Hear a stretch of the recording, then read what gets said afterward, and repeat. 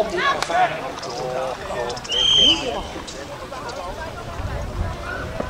Zeven grote hindernissen, dus seven obstacles here in Big Bear for competitors. Very many countries. Nathan onderweg met zijn span naar de laatste maas. Leuk om te zien, heel mooi ingehouden. Die spanning pakken, die ervoor.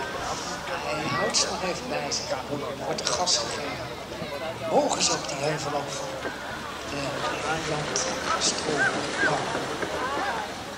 Het is daar kort draaien hoor. Als je daar boven die heuvel zit.